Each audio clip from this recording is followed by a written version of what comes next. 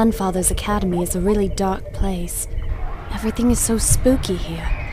But now, I have to go to the second floor of our dormitory. Cindy wanted to talk to me. I wonder what she has in mind.